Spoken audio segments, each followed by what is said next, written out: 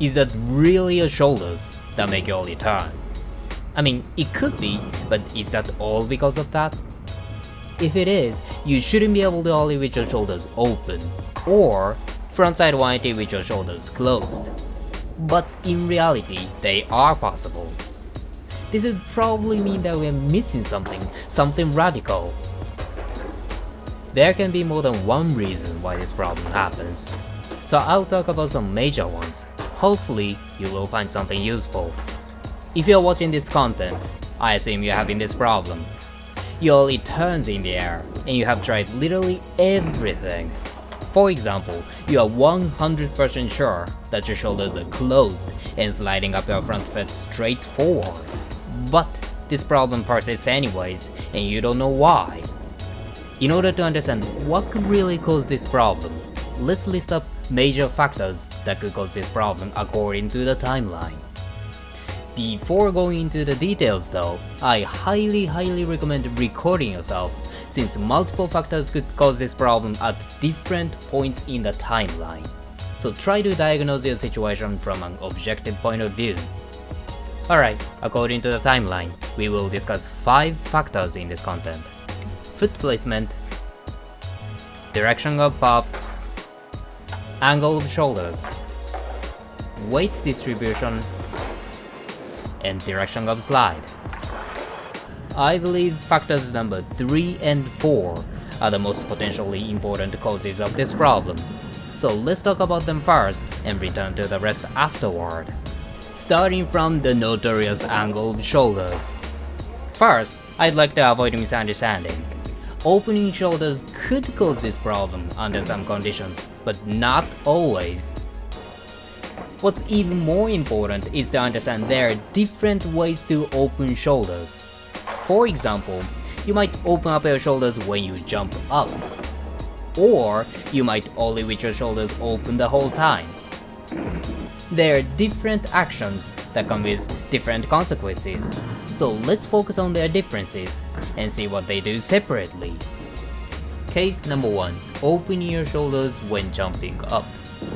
You should avoid doing this as it gives horizontal momentum to your board. This case is indicated by your board turning while your board is going up. The horizontal momentum you generate starts turning your board right after your board leaves the ground. So by the time it reaches the highest point of an ollie, you'd have turned already. In case number 2, doing an ollie with your shoulders open the whole time.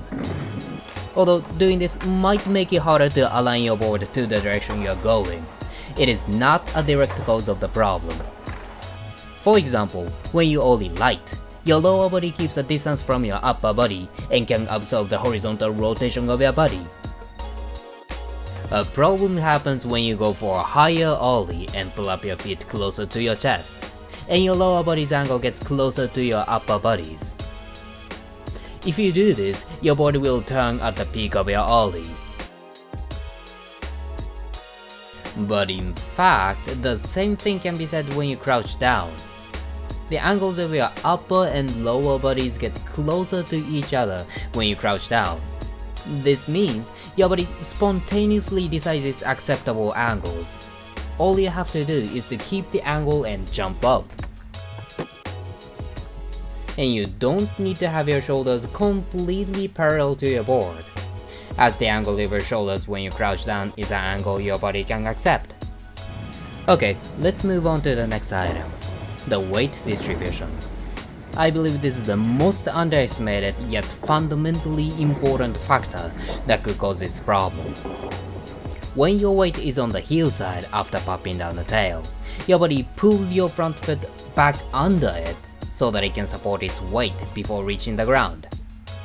And this could be why your board turns even when your shoulders are closed.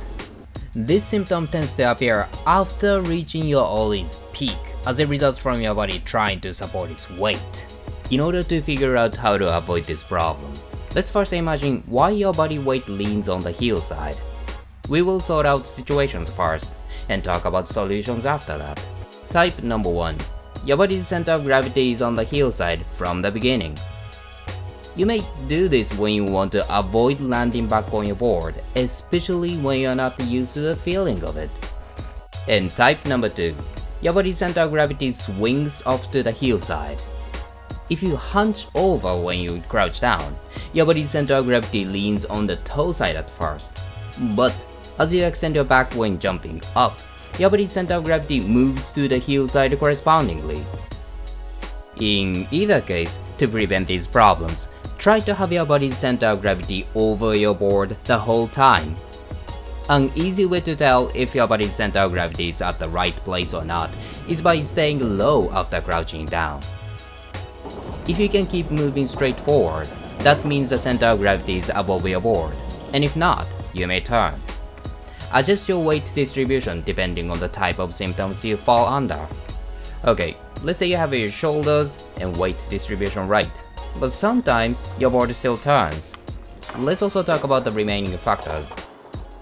So let's go back to the foot placement. Placing your front foot at the right angle to your board may turn your board, especially when your toes are naturally open. As you twist your front toe to place it at the right angle, your front foot tries to return to its original state, which may spin your board in the air. And this problem appears when you're going up, as your front foot starts turning as soon as it gets into the air. To avoid this, you may place your front foot in a way that you feel comfortable, instead of trying to put it at the right angle. That way, your front foot will not try to twist back to its original state, and you can crouch down more stably. Lastly, direction of pop and direction of slide. Popping or sliding in the wrong direction may also turn your board. If you swing out your back foot like you do in a frontside pop shove it, your board turns. If you slide up your front foot diagonally sideways, your board turns too. So make sure to pop straight down and slide up your front foot parallel to the direction you are going. Also, you should consider these factors in combination with the angle of shoulders. Opening your shoulders too much may indeed direct your slide sideways unintentionally, but you don't need to have your shoulders completely parallel to your board.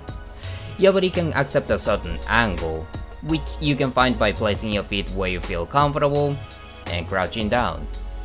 Try paying attention to other elements too, if your board keeps turning even after closing your shoulders. I personally recommend paying close attention to your weight distribution. Although the angle of the shoulders does stand out, the weight distribution matters as much as the angle of shoulders does. It may require a lot of practice, but leads to so many other tricks. So don't be frustrated and try something else sometimes, and you will get your ollies down soon.